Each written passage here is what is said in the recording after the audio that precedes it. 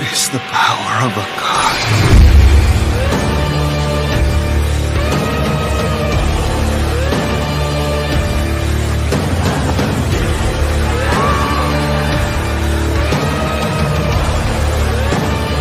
Wake up to reality.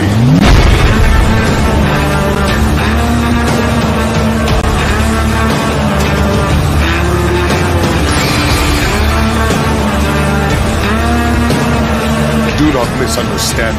This is not power of your creation.